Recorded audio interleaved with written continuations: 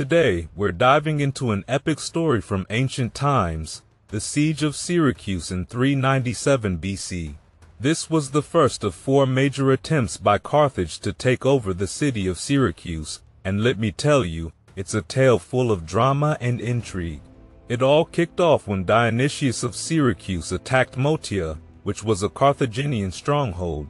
Himilco, a Carthaginian leader, wasn't having any of that. So he gathered a massive force and set sail for Sicily.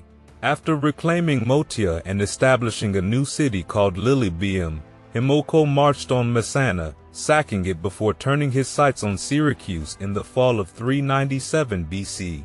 The Carthaginians used a clever strategy similar to one the Athenians had tried back in 415 BC, and it worked well at first. They managed to isolate Syracuse, cutting it off from outside help. But then, disaster struck. In the summer of 396 BC, a terrible plague swept through the Carthaginian camp, wiping out most of their troops. Seizing the moment, Dionysius launched a fierce land and sea attack. Himilco, realizing he was in a tough spot, struck a sneaky deal with Dionysius and managed to escape with the Carthaginian citizens. The Libyans left behind were enslaved, the Sicels vanished, and the Iberians decided to join Dionysius.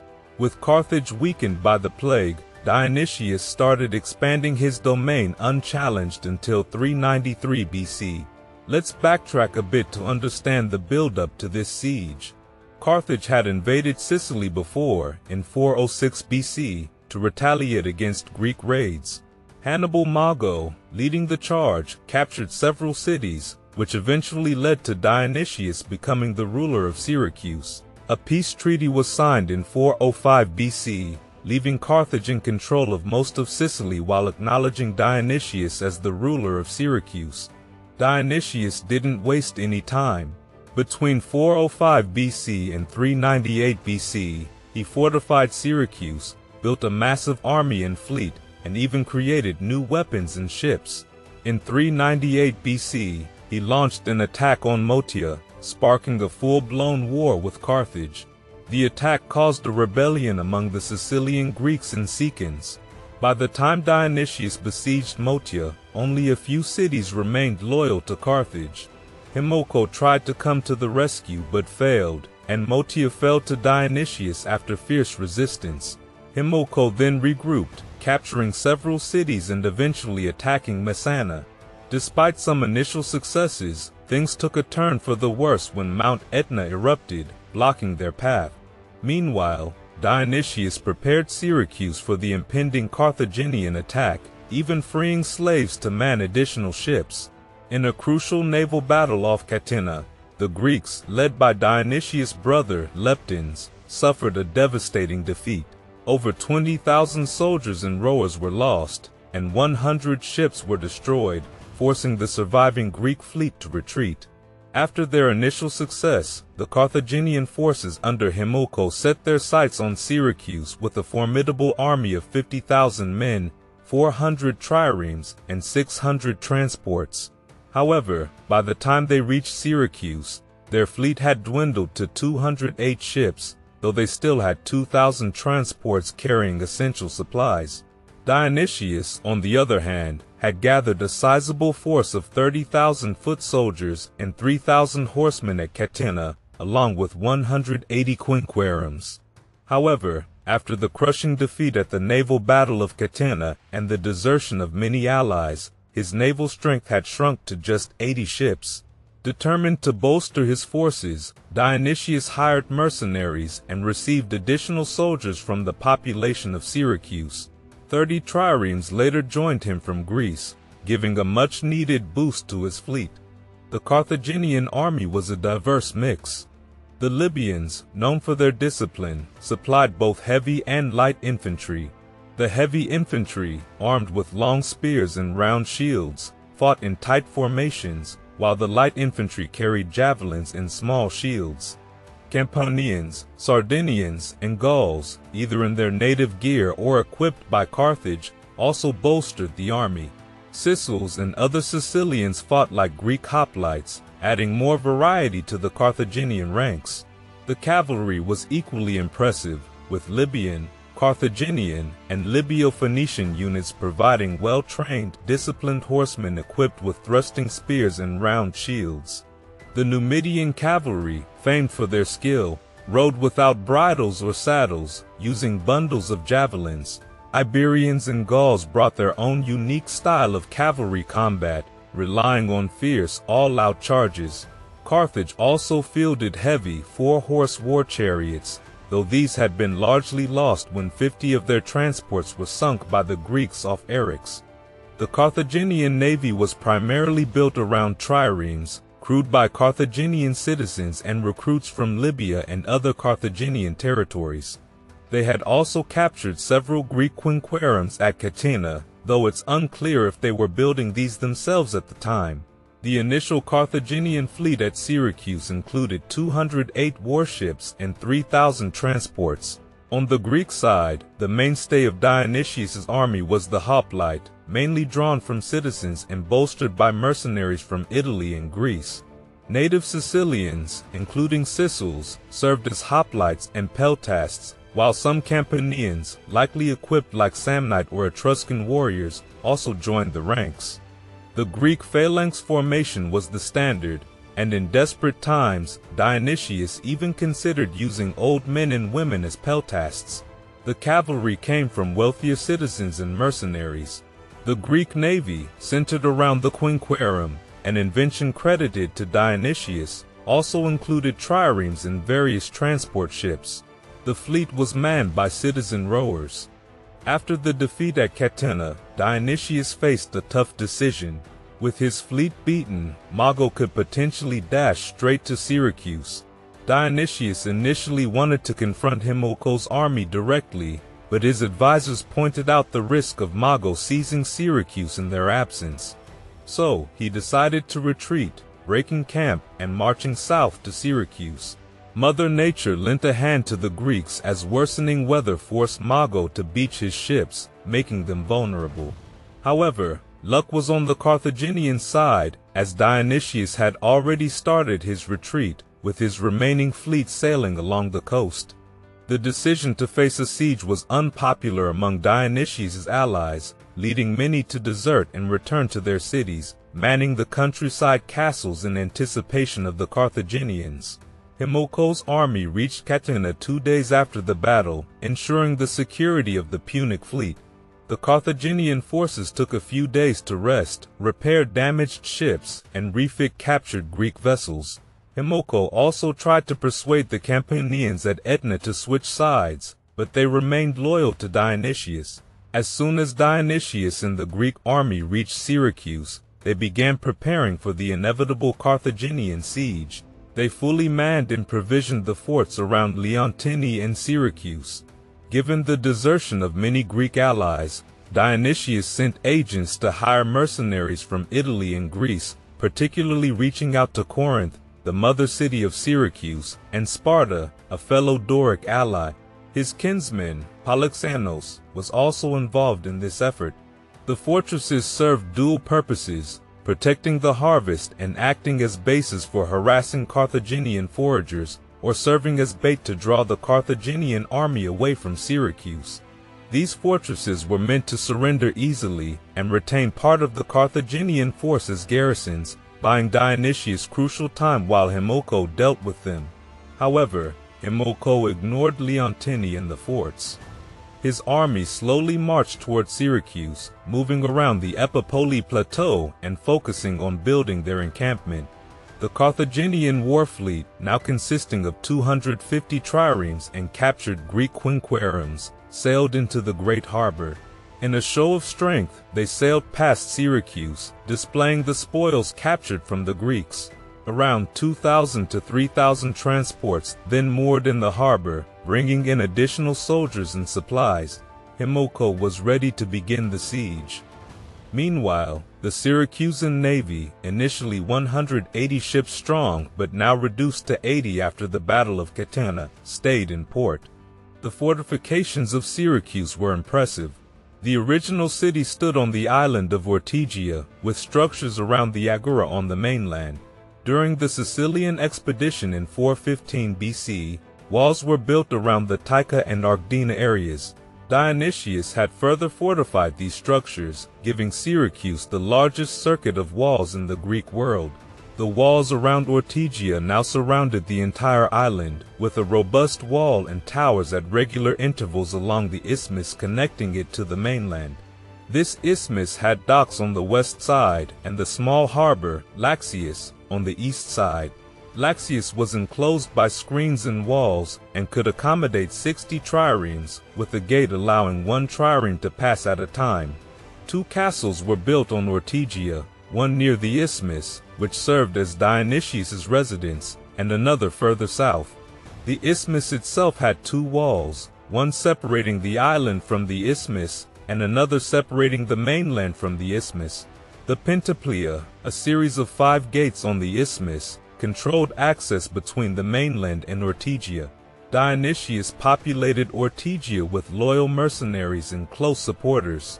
A massive castle with underground structures was built at Euryalus, guarding the main route to the plateau. He incorporated walls built during the Athenian expedition to settle people in Acradina. The stone walls around the plateau were between 2 and 4.5 meters thick and 6 meters high. Himilco chose to camp near the great harbor in the Polycana area, either north or south of the Anapus River. He took quarters at the Temple of Zeus, with the main camp likely situated on the marshy ground east of the temple and adjacent to Dascon Bay and the Lysimelia Marsh. The camp, including berthing facilities for the ships, was surrounded by a moat and palisade. Once the camp was set up, Himilco marched north and formed up for battle near the city. A hundred Carthaginian warships took positions on both sides of Ortygia, ready to counter any Greek ships that might attempt to sally forth. Despite the taunts of the Punic soldiers, the Greeks stayed within the walls of Syracuse. Himilco, not ready to assault the walls, unleashed his soldiers to strip the land of all possible supplies. For thirty days they ravaged the area, likely hoping to intimidate the Greeks into surrendering before winter. When this failed, the Carthaginians settled into winter quarters and began preparations for a prolonged siege. And the Carthaginians now began preparing for a full-scale siege. Himilco built a fort near the Temple of Zeus, although it is unclear if the temple was inside the fort. Another fort was constructed at Dascon and one at Plemmyrion to safeguard the main camp and provide safer anchorage for the ships. The main camp itself was surrounded by a regular wall, in addition to the existing moat and palisade. In the process, the tombs of Gelon and his wife were demolished to make way for the new fortifications. Part of the Carthaginian fleet was dispersed, while transport ships were sent to Sardinia and Africa to bring in more provisions. The forts were stocked with wine, corn, and all necessary supplies, with Himilco sparing no expense to ensure his soldiers' needs were met. The Carthaginians had a history of successfully besieging Greek cities. In 409 BC, they had stormed Selinus using siege engines and captured Himera the same year. In 406 BC, they besieged Acragas by encamping on both sides of the city. However, the size of the Syracusan defenses made building a circumvallation wall impractical. Himilco either wanted to keep his forces concentrated or lacked the numbers to surround Syracuse completely. Building another camp would have exposed the Carthaginians to sudden attacks from the Greeks inside Syracuse or a relief force without the protection of circumvallation walls. A direct assault on the southern side would expose the attackers to a flank attack from the fort at Euryalus, the height of the walls on top of the plateau made it almost impossible to assault without building siege ramps. Himilco adopted a strategy similar to the Athenian leader Nicias in 415 BC. He stayed put and awaited favorable developments inside Syracuse. After completing his preparations, he went into winter quarters. While Syracuse was under siege, it was not fully cut off, and Greek ships could still sail in and out of the Laccius harbor unless challenged by Punic ships. During the winter of 397 BC, both sides played a waiting game from their respective positions. In the spring of 396 BC, Himilco began attacking the suburbs of Syracuse. There is no record of the Carthaginians breaching the city walls, but they captured a section of the city containing several temples, including one dedicated to Demeter and Kore, which they plundered. Dionysius also acted aggressively, sending out sorties to attack Carthaginian patrols and winning several skirmishes, but the overall tactical situation remained unchanged. Meanwhile, Polyxenos had managed to gather a naval squadron in Greece. Under the command of Pherecydes of Sparta, 30 triremes reached Syracuse. The Spartan had captured several Punic ships, and the Carthaginian blockade ships had mistakenly allowed his ships through, thinking a Punic squadron was returning from patrol. Both the Greeks and the Carthaginians now depended on overseas supplies to sustain their efforts. Shortly after this, Dionysius and his brother Leptines sailed out with a flotilla to escort a crucial supply convoy for Syracuse. During their absence, the Syracusans scored a significant success. After spotting an unescorted Punic corn ship in the Great Harbor, five Syracusan ships sailed out and captured it. While the prize was being brought in, 40 Punic ships sailed out, prompting the entire Syracusan navy to engage the Punic squadron. They sank four ships and captured 20, including the flagship. The Greek ships then advanced on the main Punic anchorage, but the Carthaginians declined to engage the Greeks returned to Syracuse with their spoils. This success was achieved without Dionysius' leadership. Upon his return, some of his political enemies tried to depose him during a citizens' assembly. However, the Spartans refused to support the dissenters, causing the coup attempt to collapse. As summer arrived in Sicily in 396 BC, the strategic situation remained unchanged. Himilco had not managed to capture Syracuse, and Dionysius had not defeated the Carthaginian forces. Both sides were heavily reliant on overseas supplies. At this critical juncture, a plague broke out among the Carthaginian troops who had been suffering from the intense heat. The plague, reminiscent of the Athenian plague, may have been caused by poor hygiene in the marshy grounds and possibly malaria. The result was catastrophic. Scores of soldiers and sailors died, burial parties were overwhelmed, bodies were hastily buried, and the stench of decaying bodies filled the air. Fear of infection prevented proper care for the sick. Many attributed this calamity to the desecration of Greek temples and tombs. Himilco, who had faced a similar situation at Acragas in 406 BC, had previously sacrificed a child and animals to appease the gods. However, any measures he took at Syracuse proved ineffective. The Punic forces were decimated, and the fleet's readiness diminished. Despite the plague, Himilco and his troops stubbornly held their ground, but morale plummeted. Dionysius saw an opportunity to strike while the Carthaginians were weakened. He planned a combined land and sea attack on the Punic forces before they could recover or receive reinforcements. He ordered 80 ships to be manned, with Leptines and Pherecydes commanding the naval attack on the Punic ships beached at the Bay of Dascon. Dionysius himself would lead the soldiers in an attack on the Punic camp. He planned to march his army on a moonless night in a roundabout way to the Temple of Cyane and attack the Carthaginian fortifications at first light, with the Greek fleet attacking after he had engaged the Carthaginians. The success of this plan hinged on precise coordination between the fleet and the army. Dionysius successfully completed his night march and reached Cyane. At daybreak, he sent his cavalry and 1,000 mercenaries to attack the camp directly from the west as a diversion. Dionysius had secretly ordered his horsemen to abandon the mercenaries once they engaged the Carthaginians. The combined force attacked the camp, and the mercenaries were slaughtered when the Greek horsemen suddenly fled. This maneuver distracted the enemy and rid Dionysius of unreliable soldiers. While the mercenaries were being butchered, the main Greek army launched attacks on the forts near the Temple of Zeus at Palekana and Dascon. The cavalry, after deserting the mercenaries, joined the attack on Dascon, while part of the Greek fleet attacked the Punic ships beached nearby.